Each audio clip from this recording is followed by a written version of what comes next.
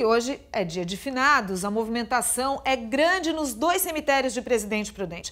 Nós vamos falar ao vivo com o repórter Rubens Nakato. Rubens, em qual cemitério você está agora? Bom dia.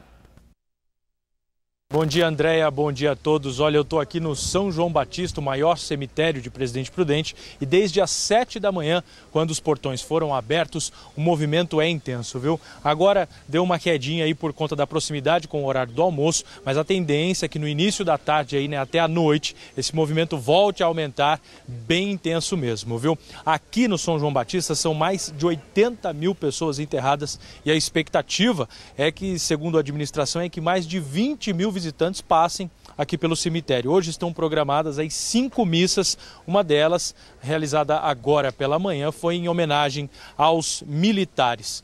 Olha só, uma curiosidade aqui no São João Batista em Prudente é o túmulo da menina Berta Lúcia. Segundo aí a crença popular, né, as pessoas acreditam que ela é responsável por diversos milagres e vem até aqui prestar então as devidas homenagens. Olha só, tem informações também do cemitério Campal na Zona Sul. Amanhã por lá também foi de realização de missas, viu? O maior movimento foi entre as 9 e as 11 horas. Por lá são esperadas aproximadamente aí, esperados aproximadamente 6 mil visitantes. Segundo a administração, são 3.500 pessoas enterradas. O horário de funcionamento nos dois cemitérios aqui em Presidente Prudente para visitação aí, né, segue até às 7 da noite. Portanto, tem bastante tempo para as pessoas virem, né, prestar aí as homenagens aos entes queridos. Andréia, volto com você. Verdade, já tem um tempo bom aí, né? Obrigada, Nakato. E agora a gente vai para Rio Preto, né? Porque em Rio Preto amanhã também foi de bastante movimento nos cemitérios da cidade. Nós vamos ao vivo falar com a repórter Carla Esquisato para saber mais informações de como está sendo o dia de finados na cidade. Carla, neste momento o movimento ainda é intenso por aí. Olá, bom dia.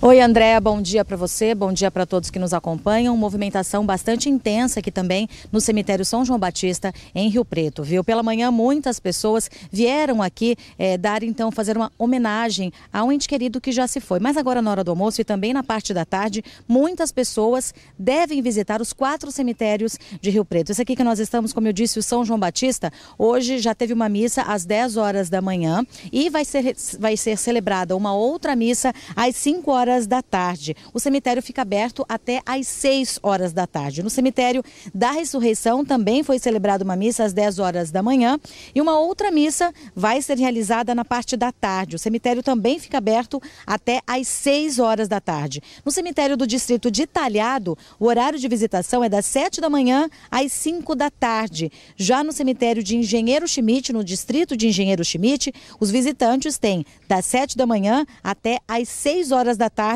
para fazer as homenagens. Lembrando, Andréa, que durante todo o funcionamento dos quatro cemitérios, agentes da Secretaria da Saúde estão nas portas dos cemitérios orientando a população com relação aos cuidados com a dengue. A gente sabe que nessa época, né, hoje, finados, muita gente vem visitar o túmulo, traz vasos com flores, outros objetos que podem acumular água e então é, a ajudar na proliferação do mosquito da dengue. Então é importante que essas pessoas também tenham essa conscientização de não deixar nenhum objeto parado para não, não aumentar o número né, de casos de dengue na cidade, viu, André? Eu volto com você. Importante, né, essa ação. Muito obrigada, Carla. E que vale aí para todos, né, da nossa região. Cuidado aí com os vasos.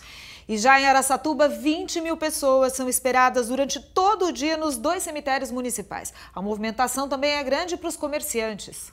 O dia começou com uma missa na capela do Cemitério da Saudade.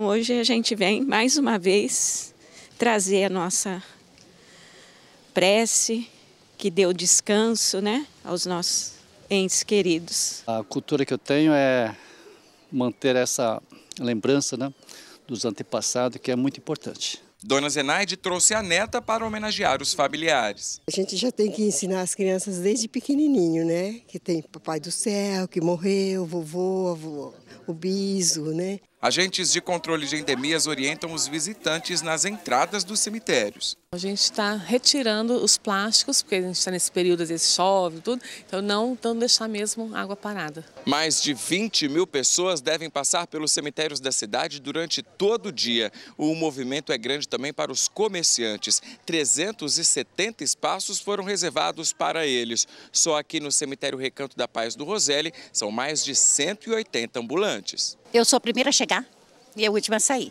Mas graças a Deus, a gente está aqui para para agradecer, né, e, é os, e oferecer uma homenagem aos nossos queridos, né, que já foram, né.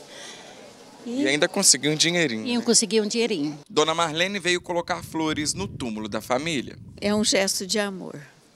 E é uma saudade que não, não apaga, né? Os cemitérios da cidade ficam abertos até às sete da noite. A gente sabe que eles já estão na glória com Deus, mas a gente precisa fazer para a gente também ficar em paz, né? Então, sensação de dever cumprido.